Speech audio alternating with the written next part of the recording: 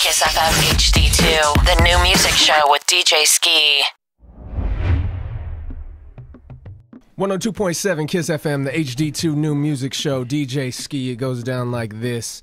Our last show before Christmas, so we have a Christmas surprise for you. We got my man Ron Browz in the building. What's up? What's up? What's going on, man? Going on?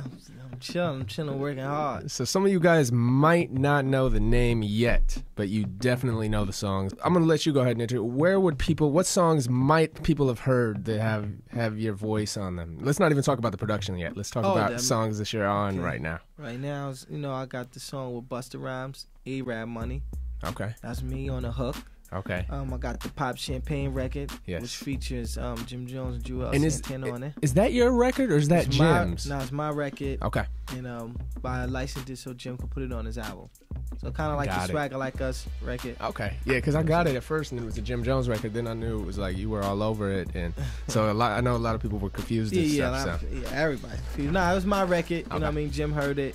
Yep, after you know it caught some steam he wanted to be a part of it so Yeah. i put him on it but you know that's good. And, and how long ago did you do that record? i did that record in the summertime Okay, so and, like it, June. and, it, and it's really been catching steam and yeah fire. And, it got caught on fire since Yep. the summertime and it ain't stopped so what, what's your favorite kind of champagne to pop?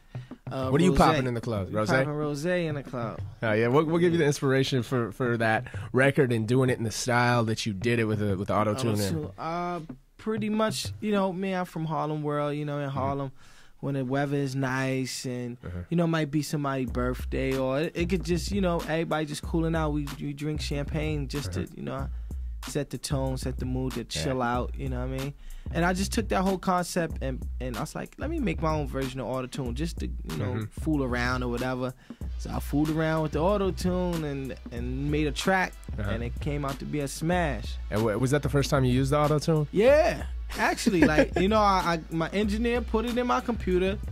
Like two days later, Uh-huh. I came out with that record. Did you do the Literally. record before the auto tune, or did you throw it on after? It was like No, I you did just it- experience? I just was Because. I had T Pain up here, Yeah. and he he said something about the record. He's like, the "Oh." worst song that you've heard with the auto tune on it? Um, I wouldn't say it's the worst song.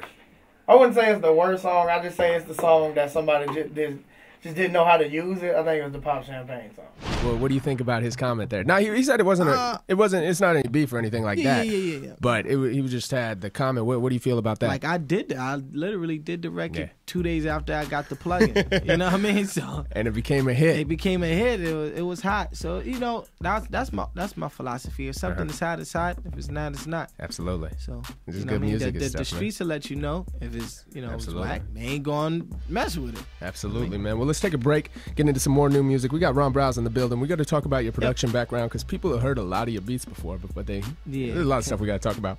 HD2 new DJ Skee, Ron Browz. Let's go.